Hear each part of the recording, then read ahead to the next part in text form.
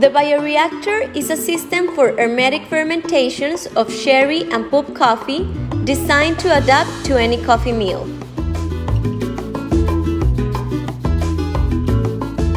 It features a leachate storage tank and a recirculation system with a stainless steel pump that allows the entire coffee mass to be impregnated, generating a more homogeneous fermentation.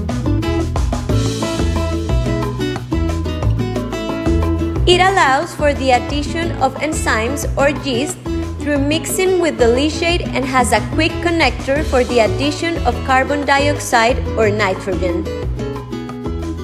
It includes a pressure gauge to measure the working pressure, which is adjustable from 0 to a maximum of 15 psi. To ensure safety and hermeticity, it has a two wafer type valves on the coffee inlet and outlet gates. There are two models of bioreactors available, varying in size and capacity.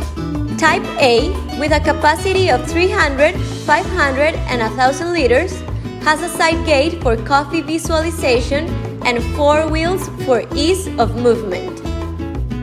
Type B, with a capacity of 2,000, 3,000, and 5,000 liters, has a top gate for visualization, maintenance, and equipment cleaning, and requires an access platform due to its size. Hermetic Bioreactor is a Penagos solution for coffee fermentation.